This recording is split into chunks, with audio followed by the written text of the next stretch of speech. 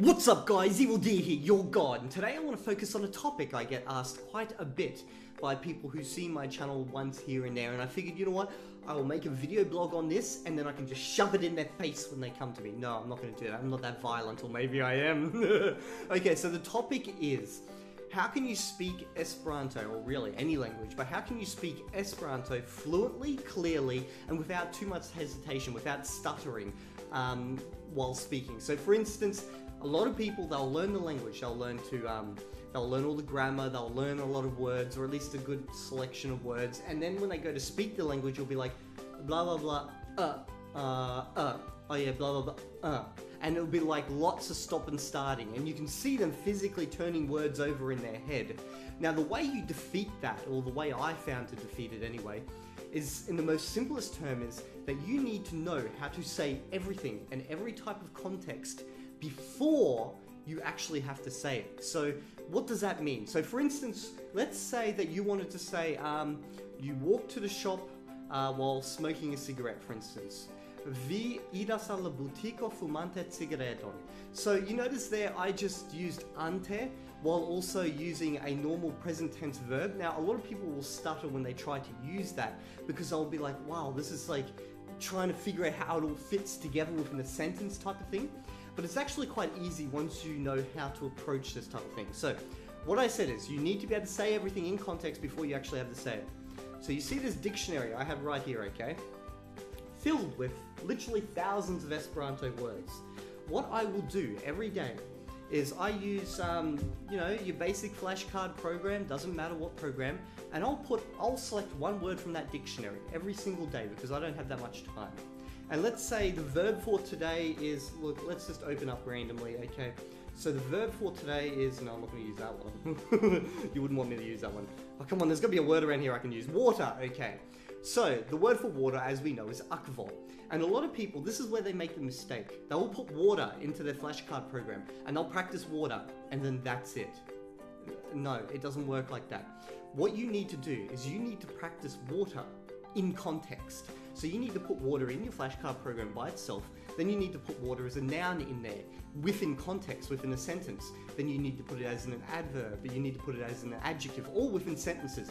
Multiple sentences, say three sentences with water somewhere in that sentence, okay? And then you also need to put it in with, say, when you're watering something, um, when it's a waterborne, or when it's a water bottle, or when it's watercolor, or when it's um, a waterfront, you know, all these possible um, variations of the actual word itself in all the different contexts, you need to take every single possible variation that you would use, obviously not every single word in the world, but every variation that you'd use of that word within at least three different sentences and shove them all in there. Now, literally, for one word, say water, you might put in there 40 different sentences into your program.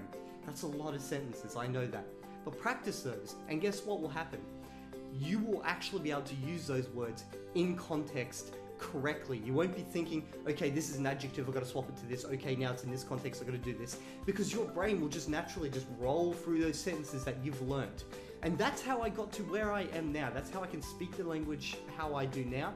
That's why I yeah, obviously sometimes I drop the accusative, but that's how I learnt the accusative case correctly. I actually built literally hundreds of sentences in context and then put them straight into my program. And I just practice them over and over and over. Now, obviously, a you've got to get a good um, flash program that only picks a certain amount of random words per day based on how well you you know you um, evaluate yourself and then it will go through and as you get better obviously those ones will disappear from the front as you get worse for like particular ones they'll come back to the front but the good thing is you will start using every single possible variation of that word in context. Now, you could imagine that eventually your flashcard program is going to have like 10,000, 20,000 variations, okay? Um, I don't even have my original flashcard ones that I use because I deleted them years ago, but my newest ones, you know, they've got a couple of hundred um, variations here and there, and every now and then I accidentally delete them or something, but it doesn't matter because I've already ingrained certain words and stuff. But let's say I come across a word that um, I'm in, like I'll be speaking with Kaya or I'll be speaking with myself, and I don't, I get stuck, and I'm like, uh, what is this? How do I use this? Or even a, like a grammar form, for instance. Like a couple of months ago, I wanted to practice um, saying percent of energy, okay? So, so because that's something you got to say in gaming all the time. So 50% of energy. So say um, 20% da energia. Um, so I wanted to get the plural with the da, with the, the numbers all working. So I literally put in um, from 0 to 100, all the percentage ranges, okay? You don't have to go that crazy, that's just me. I just slapped them all in there, um, and then every now and then it will randomly pop up with 1%, say 61% of energy, and I'll just be like, 61% da. And the reason being is because I've practiced all those variations of that word, okay?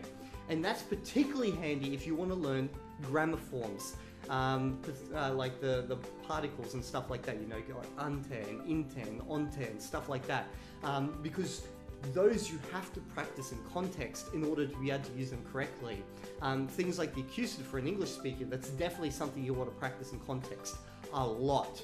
Um, what other things? You've got like da and de halfway through a conversation for an English speaker, we'll be like, is this da or de? And then you'll think about it and you go, well, it's a quantity, okay, so it's da, and then you'll continue on.